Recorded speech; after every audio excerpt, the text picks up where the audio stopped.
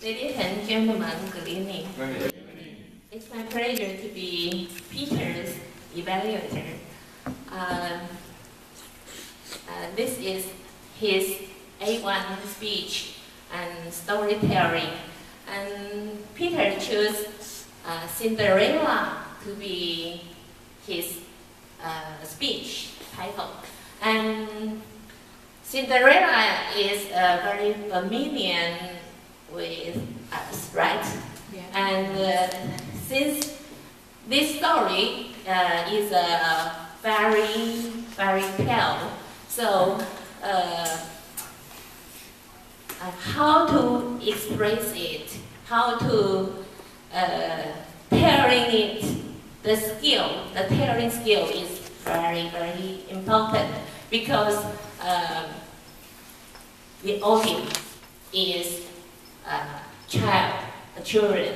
So I think uh, Peter should be uh, treat us like children and uh, try to say some uh, interesting story to us.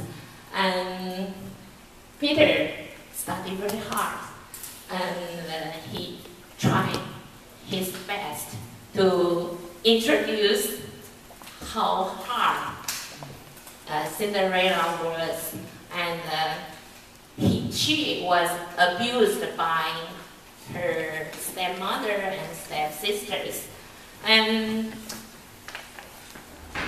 I think uh, the storytelling, uh, fairy storytelling should be have the vocal variety and uh, body language. For example, uh, you can set uh, some dialogues, um,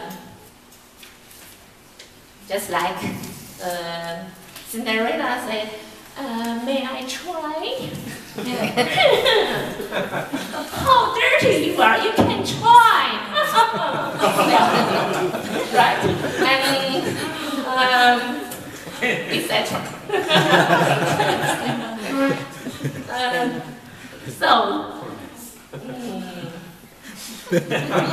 maybe, maybe, uh, Peter, I, I want to suggest you, uh, because you were you were uh, chief of your factory, you are the governor, so you you are very serious to say something to the in the public. But now you should try to be a kind grandmother to tell a story to tell a story to your grandkids and uh, say, so uh, uh, it will be more attractive. Thank you.